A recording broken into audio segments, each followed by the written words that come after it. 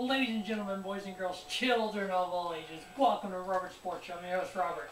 2015 WWE Extreme Rules preview. Um, coming off of WrestleMania, we all know that WrestleMania was probably one of the best WrestleMania overall cards, and if not ever in a real long time. Um, I know I enjoyed every bit of it. The Raw afterward was phenomenal. Uh, the three weeks of Raw since then, eh, mediocre. Some good parts, some bad parts. Um, hopefully before the end of the week, I'll have a Raw review of the last three weeks of Raw. But I wanted to get up the Extreme Rules preview. Um, in the pre-show dark match, we have the WWE Tag Team titles on the line. We have champion Cesaro and Tyson Kidd. Hopefully, call them the Brass Ring Club versus the New Day, Biggie Langston, and Kofi Kingston. Um, the New Day coming off of that number one contender match against the Lucha Dragons um, with Cesaro and Tyson Kidd, the Brass Ring Club, New Day, the Usos, the Lucha Dragons, the Ascension. The WWE Tag Division is really starting to look up. Hopefully, the I know with the New Day getting this tag title shot, just like they did, and part of that four-way at Mania. Hopefully, the Lucha Dragons will be getting title shot soon. Maybe getting them the titles. Um, I don't see any reason to drop the titles to the New Day. When the New Day came in, all the promos went like this and crashed and burned. It just, the concept is cool, but the reality of it's been garbage. Um, you need to build up the Ascension a little bit better. You get the Lucha Dragons, you get the Usos still. Once Jimmy comes back, or Jey, whichever one's hard, gonna hurt Mania. So I got the Brass Ring Club retaining their titles here. On the uh, actual card, I got the first match is the Kiss My Arse match. Basically, Kiss My Ass match. Uh, Dolph Ziggler versus Sheamus. Obviously, Sheamus returning the Monday after Rumble, after Raw, excuse me, or the Raw after Mania. And uh, looking looking heel as uh, hell and looking like shit with that hair and the beard, the little braids and the mohawk and just you knew when he came out looking like that he was going to turn heel. And the you know the bro kick to Dolph and to Daniel Bryan and you know, you know we Bad News Barrett. You know the four of these guys, you know, kind of all in the in intermingling for the Intercontinental title. Um, so it's kind of a I don't, I don't think they're called a number one contender match, but it's kind of a little feud between Sheamus and Dolph. Actually, Dolph won in this. Um, just I can't get behind the look Sheamus has. The heel Sheamus I'm good with. Him feuding for the Intercontinental title I'm good with. Him feuding with Dolph I'm good with. He just changed the look a little bit. I still think Dolph will win this. That face win. And uh, obviously they just do a four-way with, you know, obviously the next match I have the WWE Intercontinental title champion Daniel Bryan versus Bad News Barrett. Like I said, the four of these guys feuding for the IC title. I'm all for that. You got Barrett and Sheamus as the heels, Dolph, Ziggler, and Daniel Bryan as the faces. I'm all good with all this. Um, I see Daniel Bryan retaining the title against Bad News Barrett. I think WWE wants to take these mid-card titles. It's why they put them on the Dolph Ziggler and John Cena is to build them up more. Um, I think having Dolph hold for a month and dropping it back to Bad News Barrett wouldn't necessarily add prestige to the you know the IC title, which it's had in the past. I think giving Dolph the title run, having defended against multiple people multiple times, I think it would be a good way to build that title back up. So I got Dolph retaining against Bad News Barrett. So hopefully, again, that'll set, you know, next pay-per-view, maybe Dolph versus Daniel Bryan for the IC title.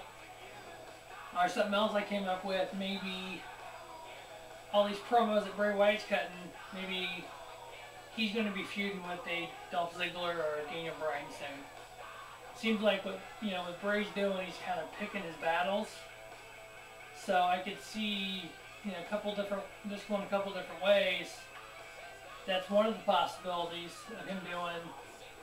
And I will tell you later my other possibility. But just remember, Hell in the Cell think about that and Bray Wyatt return. And you'll know where I'm going with this. Next we have the Chicago Street Fight. We have Dean Ambrose versus Luke Harper. Um, I thought kind of randomly them together. I know they had a couple matches on the last two Raws that ended in no contest.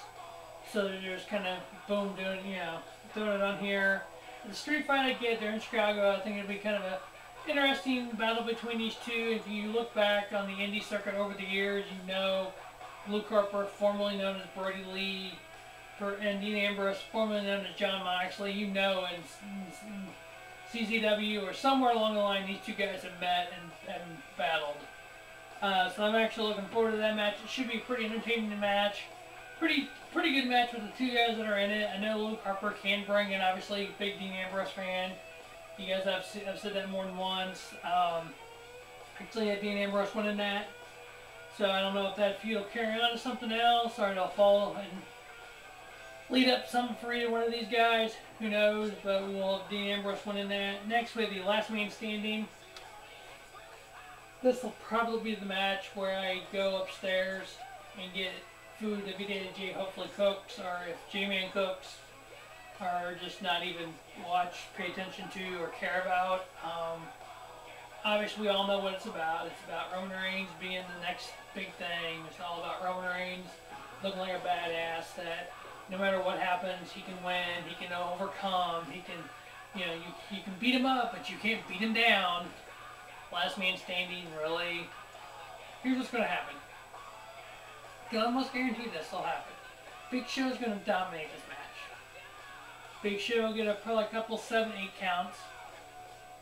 The very end, Roman Reigns will go, hmm, let's see, Superman Punch, Spear, Superman Punch, Spear, 10 count, Roman Reigns wins. That'll be the gist of the match. Trying to make Roman Reigns look like a badass. He can beat a monster. He can beat, he can beat, you know, he can hang his own with Brock Lesnar. He can um, face a giant and win. Wow. Let's just make him the next big thing. I think that title's already taken by someone. Uh, next, we have the uh, U.S. title line. We have a Russian chain match. yes, ladies and gentlemen, I said a Russian chain match. That is different than the United States chain match.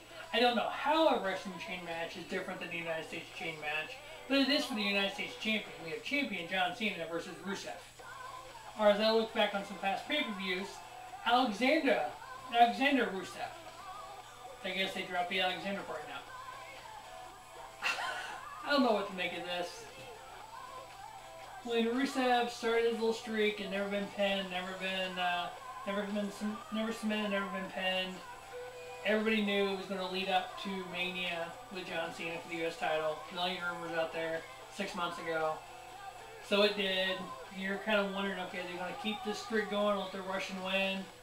Then basically John Cena makes the big old Russian look like a little bitch at Mania, takes the title, and now I have a rematch. I I got John Cena retaining. I don't know where they go with this. If it makes no sense to dump the title back to Rusev at this point when he's already submitted, you know, at Mania. I just, I just don't understand it. If you really wanted to do something, you let him win at Mania. I guess. I don't know. I got John Cena winning.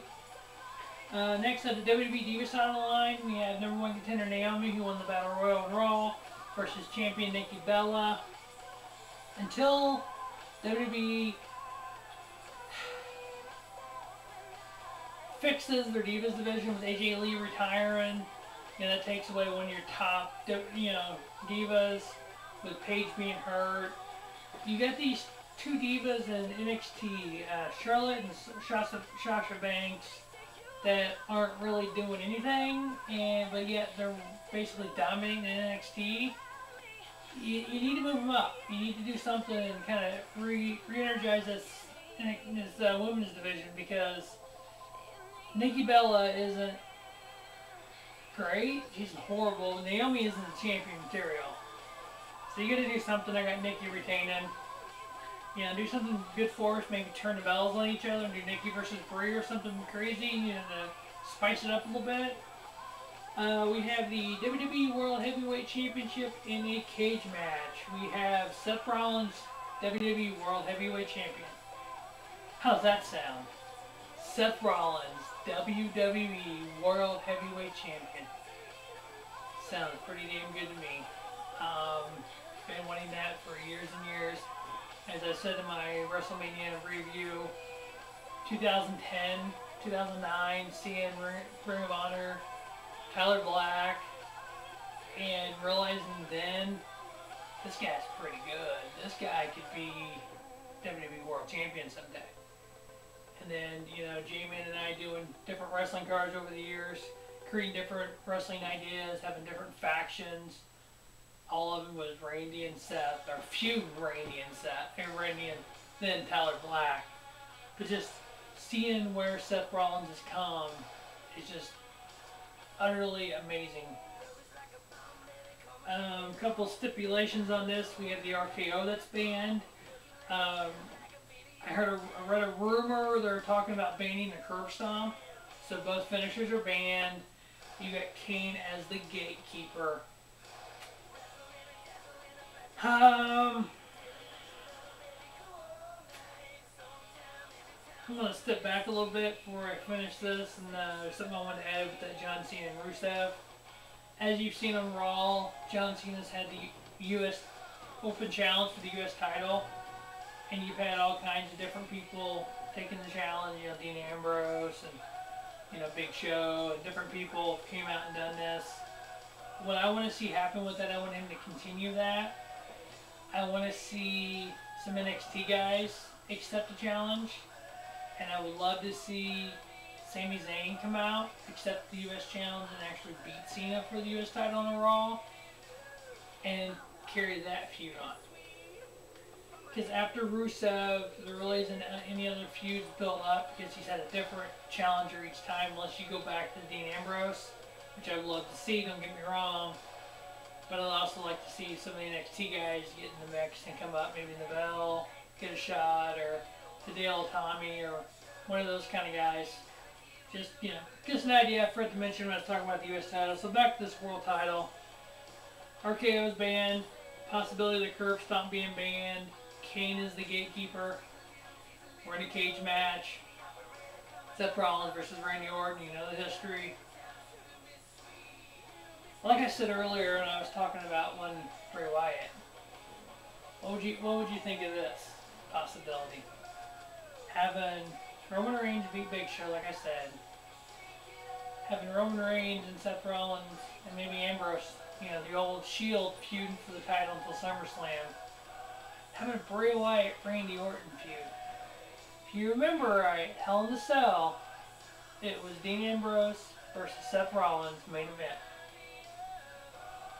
Bray Wyatt came out, had the lantern in the ring, the image of Sister Abigail came out, Wyatt Reigns through, then attacks Dean Ambrose. Seth Rollins wins. That feud ends. He begins his feud with Dean Ambrose. What, you, what would you think about seeing lights go out, the lantern appear, Bray Wyatt appear, taking out Randy Orton? Seth Rollins would defend, you know, retains his title, which I think will happen no matter what setting up a feud between Bray Wyatt and Randy Orton the next before the summer. Not that I wouldn't love to see the Seth Rollins Randy Orton feud continue, but it's just intriguing to see because if you listen to these Bray Wyatt's promos, you really don't know who he's talking about yet. So it's going to take a couple, part another, at least another episode of Raw to really see what Wyatt's talking about. But if he does some appearance here, takes out somebody or attacks somebody, and then starts the promo for that person on Raw next Monday. But I do have Seth Rollins retaining his world title with help from Kane, probably. Um, you know, as Kane said on this past Raw, you know, you you know we're, you were given this. I helped you win the Money in the Bank. I helped you win this. You can interchange you with Dean Ambrose, and the result wouldn't have changed. Well, you know, just that pure honesty by Kane and you're, you're I'm watching going, he's, he's, he's right. Not that I, you know, like Dean Ambrose anymore any less than Seth Rollins. I think they're equally as talented. I think Dean Ambrose would make a great world champion, but it's like, Kane had a point there. Roman Reigns, not so much, but Dean Ambrose, oh yeah, intertwined. So, recap this. I have Cesaro, Tyson Kidd, Brass Ring Club retaining the tag titles in the pre-show match. I have Ziggler winning. I have Dean, Dean and Bryan retaining the Intercontinental title. I have Dean Ambrose winning the Chicago Street Fight. I have Roman Reigns winning the Last Man Standing match. I have John Cena retaining the U.S. title. Nikki Bella retaining the Divas title. And Seth Rollins retaining the World title against Randy Orton. And I would like to see a return, I'm not really a return, but Bray Wyatt come out, start a feud with the Randy Orton of the world. And that leaves a triple, hopefully Roman Reigns, Dean Ambrose, Seth Rollins for the world title moving forward until SummerSlam, and then obviously at SummerSlam we would have Seth Rollins versus Brock Lesnar. Now we'll wrap up the 2015 WWE Extreme Rules preview. You can find the review probably Monday night on right here Robert Sports Show, or you can catch me on Pro Wrestling Pulse Sunday after the pay-per-view. As always, thanks for watching and have a spiffy day. Robert Sports Show, the YouTube leader in sports channels.